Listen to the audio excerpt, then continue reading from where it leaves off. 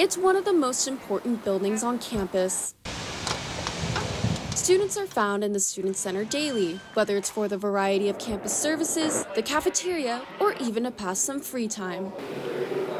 But plans to remodel the building have been up in the air for some time, and campus officials are looking to expand the entire center. What our hope is for the Student Center right now is to turn it more into a student union. So the student union would have our, of course, our Student Health and Wellness Center that's currently in there, but redesigned to be a lot more uh, functional for our students to be able to utilize. The delay is a result of waiting on approval from the state to start construction. But it has also allowed for officials to rethink their original plans as they've noticed changes in student behavior since coming back from COVID what we thought we knew coming out of COVID isn't coming into fruition, right? We're all utilizing our spaces differently. We thought everybody would be coming back to campus, you know, and we'd have more and more in-person classes, whereas we're seeing a lot of students are still enrolling online.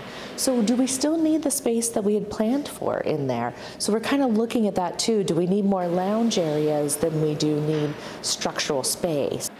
Whether it's adding more lounge space or accessible technology for online classes, student needs are priority, and campus officials are urging to hear what students have to say.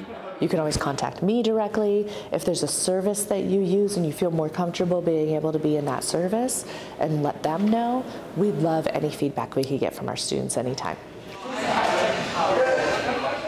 For Canyons News, I'm Meg Hall.